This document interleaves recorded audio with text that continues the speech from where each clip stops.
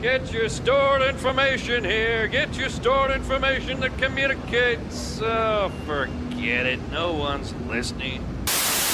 Information can be sent in little bits that are either off or on. Please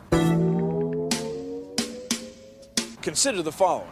This is our communication board of science. And it has lights on it that are either off and on. Now, this is the letter E. We recognize it easily. And now it's the letter F. The only difference is those lights at the bottom. Now, see, nothing's moving. It's just that lights are being turned on or off. On, off, off, ah, off. There we go. Now, these lights are what we call bits of information. Now, I'm going to make a sound, and sound travels in waves. You ready? 100 hertz. See, the waves seem to move across the screen, but nothing's moving. All we're doing is turning lights off or on, off or on, on or off, off or on. Now, this is what we call binary information, bits of information, binary bits of information. Binary means two, like two wheels on a bicycle.